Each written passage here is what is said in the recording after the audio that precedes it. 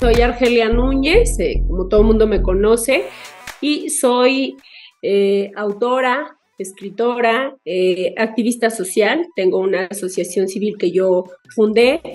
y también soy empresaria. Tengo una empresa que también, valga la redundancia, fundé en sociedad con mis hijos y pues de todo un poco, deportista, este, activista social, mujer, primero que nada, este, mexicana. Nos gustaría saber eh, qué y por qué escribiste Las Reinas No se rajan.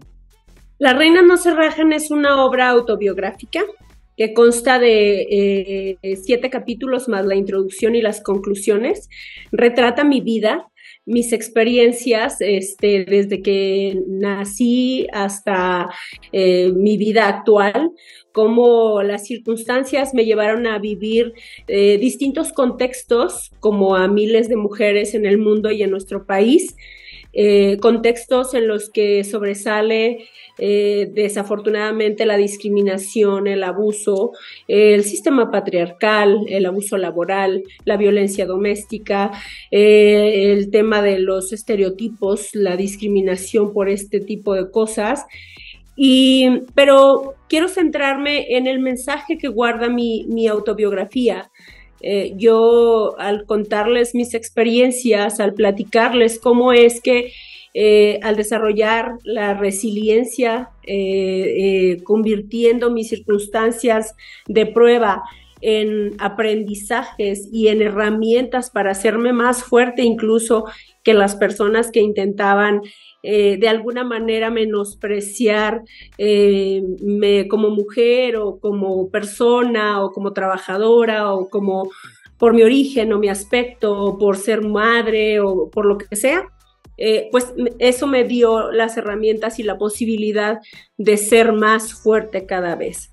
Entonces, el mensaje es, siempre se puede, siempre se pueden hacer las cosas mejor que incluso que quien nos agrede y siempre las circunstancias guardan la posibilidad de elegir qué haces con ellas. Es decir, no somos nuestras circunstancias.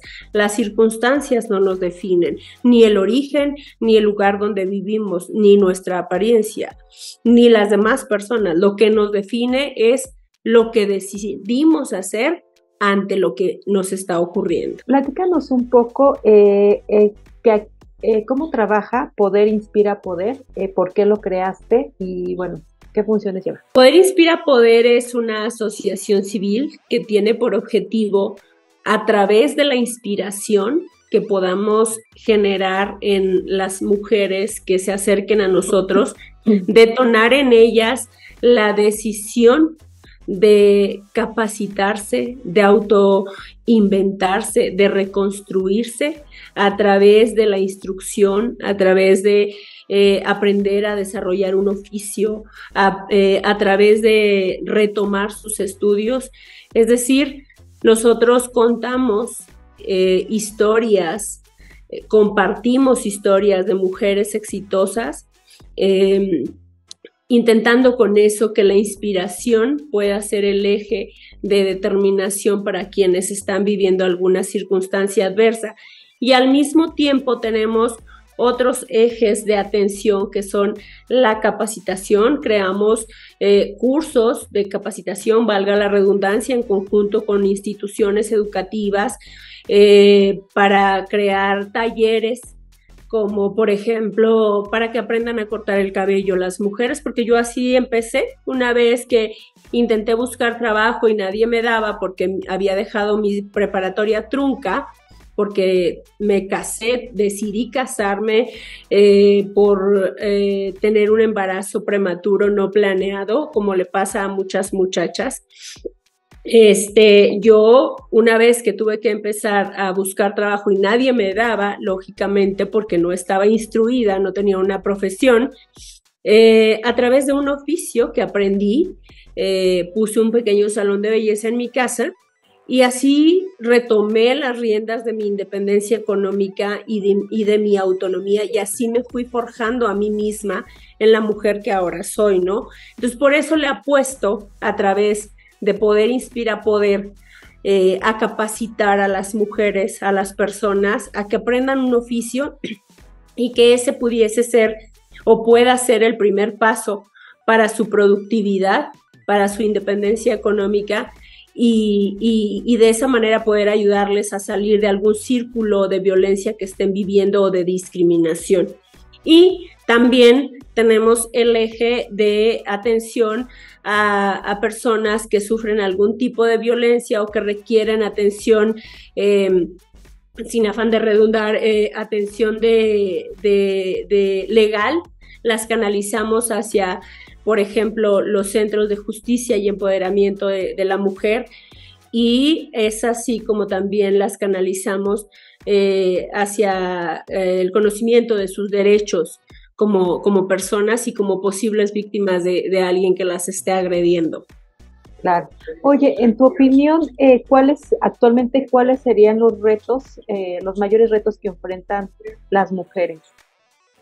Pues yo creo que eh, más que nada eh, eh, hay muchos, ¿no? Digo, la discriminación para empezar, pero yo creo que son las circunstancias. Y las circunstancias engloban muchos factores que están en contra de, las mujeres y no solamente las mujeres sino todas las personas. La discriminación en todos sus contextos, creo que eso es el, el mayor tema a vencer, pero más allá de que empujemos, eh, impulsando o, pidiendo eh, o, solicitando que se creen políticas públicas para combatir la discriminación y la violencia, la inseguridad, eh, los feminicidios, la desaparición de mujeres. Yo creo que antes que otra cosa tenemos que concientizarnos nosotras, ¿sí? En, el valor que tenemos como personas, como individuos, como mujeres, y en ese sentido reconstruirnos y asumir nuestra responsabilidad en la construcción de un México mejor. ¿Qué quiero decir con esto? Eh, eh, significa que así como le pedimos, por un lado, a las autoridades, a los políticos, que creen las leyes, para que haya más justicia, equidad, igualdad, paridad este, y seguridad para las mujeres, también quiere decir que avancemos en luchar por llegar a, a, ocupar espacios públicos donde tengamos el foco, donde tengamos la voz. Pero no solamente llegar ahí, yo creo que el verdadero cambio se va a dar cuando las mujeres que ya hayan llegado o que ya estén ocupando puestos de decisión realmente se concentren en desarrollar su papel fundamental de mujeres, es decir, que ejerzan la paridad, que ejerzan su individualidad, que ejerzan sus derechos, que ejerzan su responsabilidad de crear un contexto y un mundo mejor para las demás mujeres. Porque si bien es cierto que ya hay eh, en las leyes establecidos los márgenes y, los artículos que exigen que haya paridad, que haya equidad, lo que tanto se habla del 50 y el 50, ¿no? Pero realmente se ejerce.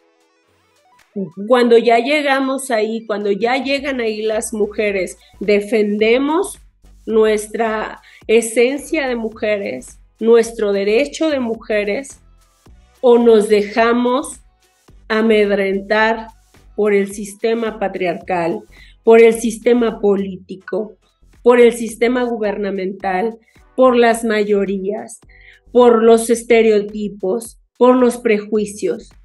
Yo creo que más que nada tenemos que recurrir al valor para una vez que ya estemos en posibilidades de defendernos y de crear situaciones mejores para otras mujeres, pues lo hagamos valer. Creo que la suma de todas las que ocupan puestos públicos, las que ocupan puestos gubernamentales, las que están al frente de organizaciones eh, empresariales, las que están en las empresas como directivas, como yo alguna vez lo estuve, las que hacemos activismo social, las que tenemos una empresa y la posibilidad de dar trabajo, hay que cada una hacer lo propio y sumarnos en conjunto a lo que todas estamos haciendo pero con un enfoque y una misión de vida más humana. No solamente por llegar, por ser parte de un movimiento o por este, logros que nos lleven a la realización personal. Yo creo que tenemos que empezar a pensar como seres humanos, como mujeres, recurrir a nuestra esencia y a nuestro origen de ser creadoras y formadoras por naturaleza. Claro. Eh, Argelia, ¿cómo fue tu proceso creativo para este libro? Eh, ¿Cuándo lo empezaste a escribir? Eh, ¿Dónde lo podemos conseguir? Pues mira, desde niña me gustó la escritura, la lectura. Me acuerdo yo que yo estudié en una escuelita súper chiquita, rural, en un pueblo donde las niñas éramos tres, yo creo de, mi, de mis grupos, de mi grupo, primero, segundo y tercero, cuarto, quinto y sexto, según su momento, yo creo que había otras tres niñas además de mí, ¿no? Entonces, era una escuela súper chiquita donde nos llegaban los libros de texto del gobierno, que todavía sigue igual. Lamentablemente, regresé después de 33 años este, para ver cómo estaba, precisamente buscando fotografías eh, para solventar eh, em, la edición de mi libro. Lo encontré igual, lo encontré igual. Entonces, cuando yo estaba chiquita, iba a la escuela y nos ponían a leer, ya sabes, te pasan al frente a leer las fábulas, los versos, yo me acuerdo que me desesperaba muchísimo y me dolía el alma de escuchar cómo no se leía con énfasis a, los, compañeros o, niñas que pasaban al frente, ¿no? Entonces empecé a amar las letras porque mi abuela eh, nos declamaba y nos recitaba poesías a mi hermano Álvaro y a mí.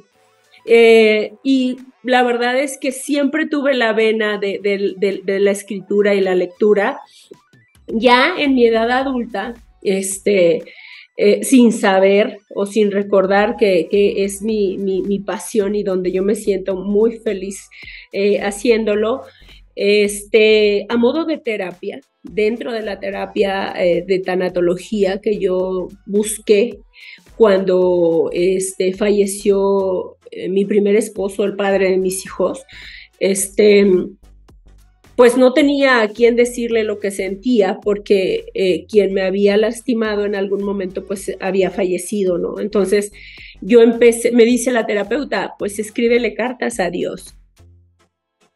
No, no hay la persona a quien le pudiera decir, oye, ¿por qué me hiciste eso? O, te perdono, o perdóname, ¿no? Em, le, le empecé a escribir cartas a Dios y así retomé mi gusto por la escritura. De repente, cuando me llegaba la inspiración o la necesidad de, decir o de escribir, pues lo hacía, me daban las 3 de la mañana escribiendo, recordando mi pasado, mi origen, mis abuelos, mis padres, el trayecto, ¿no? Em, cuando ya mi vida estuvo súper bien, que ya había terminado mi prepa, que ya había hecho mi licenciatura en educación primaria, que ya estaba por concluir mi maestría en administración y alta dirección, ya me había establecido en Torreón, Coahuila, era directora, este, tenía una carrera sólida este, empresarial y como ejecutiva, ya nadie podía correrme, ya nadie podía agredirme porque ya había comprendido que yo podía hacer lo que yo quería a través del estudio y el aprendizaje. Eh, un día, cuando iba rumbo a la maestría, pensé, dije, yo creo que yo ya me voy a morir, porque, sabes, yo soy una persona que constantemente me estoy analizando. ¿Qué, qué, más puedo aprender? ¿Qué más puedo aportar? ¿Qué más puedo hacer por la gente? ¿En qué no estoy bien? Este, ¿qué, me falta por ser mejor persona? Entonces esa, tarde, rumbo a la escuela, a la, Ibero, me acuerdo que dije, yo creo que ya me voy a morir porque pues tengo un trabajo muy padre, me va muy bien, de verdad me iba muy bien, soy de las pocas directoras que duró muchos años, todo el tiempo que yo quise, a pesar de que cambiaban de presidentes. Este, defendí mi puesto con las capacidades y el profesionalismo que mi conocimiento me dio. Eh, y entonces salí a las 7 de la tarde, iba pero como dicen en el rancho, a rajatabla, este, rapidísimo para llegar a la escuela, y en el trayecto pensé, yo creo que ya me voy a morir porque pues tengo mi vida muy en paz, estoy en paz con mi pasado, mis hijos son personas saludables emocionalmente, saludables hacia las demás personas, buenas personas, buenos jóvenes están estudiando sus carreras, tenemos nuestra casa propia, este, que, yo pago con mi trabajo, con mi sueldo. Eh, ya, ya voy a terminar la maestría, yo creo que ya me voy a morir, porque pues dicen que cuando una persona ya tiene todo cumplido, pues su vida ya se acabó. y entonces dije, no, yo no me voy a morir, no me quiero morir ahorita, o sea, tengo que hacer más cosas. Y en el camino me hice una larga lista de cosas por hacer, entre las que estaban fundar la asociación para ayudar a las mujeres a inspirarse y a capacitarse, correr maratones, subir más montañas, este, tener un árbol de limones que sí diera limones, que no se me secara, y sí lo tengo, por cierto, este, y sí me da limones todo el año. Eh, no he vuelto a comprar limones desde que lo tengo, mi hijo me ayudó a plantarlo y a tener mascotas felices, saludables. Hemos adoptado todos los gatos que han llegado a nuestra vida y también tenemos perros, tres perros. Y entonces, comprar un terreno, para construir una cabaña porque debo decir que yo pensaba que mi vida terminaría sola. Yo decía, tengo mis hijos, voy a estar sola siempre y pero no quiero ser una carga para ellos, voy a construir una cabaña para que cuando yo sea viejita este, reunir el dinero suficiente durante mi vida de trabajo y pagarle un mayordomo y a una enfermera que me cuiden en mi cabaña. Y entonces también voy a escribir un libro de mi vida. Y así, cuando regresé de la Ibero, empecé a buscar en mis escritos que había guardado desde mis terapias anteriores y empezó a tomar forma. La reina no se raja. Cuando busqué una casa editorial para que me imprimieran el libro, a lo largo de las revisiones, este, recurrentemente salía a relucir la frase que mi papá me había dicho aquella tarde cuando salimos huyendo de la finca para salvar nuestra vida, porque nos querían asesinar.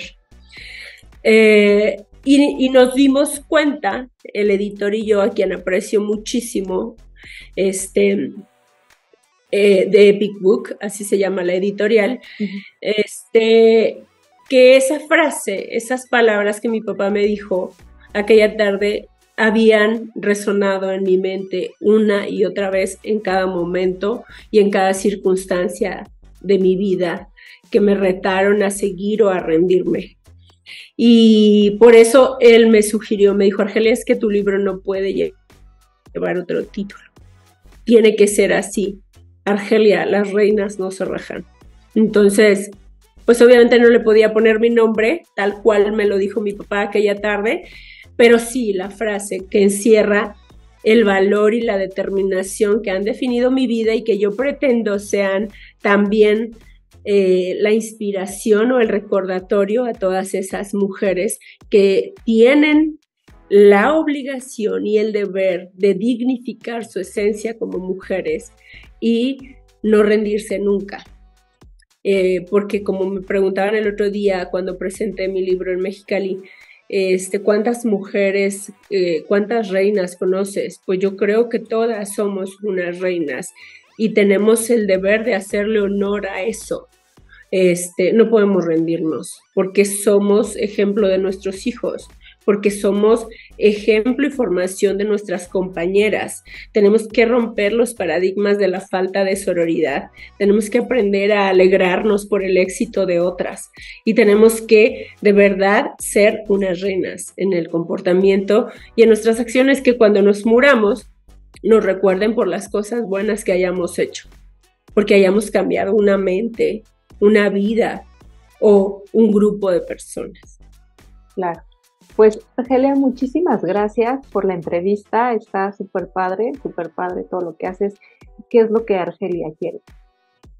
Quiero que cuando yo ya no esté en este mundo, mi existencia haya servido para que la vida de otras mujeres sea mejor.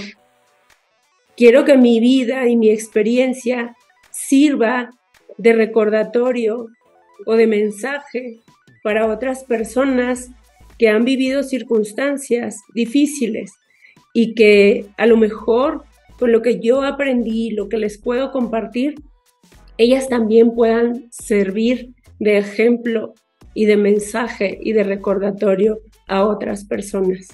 Quiero que mi hija, el día que voltee a ver el patrón de conducta el patrón de referencia que le significó como madre eh, me imite y eso signifique también el que las personas que tengan que ver con ella sean personas felices, personas saludables.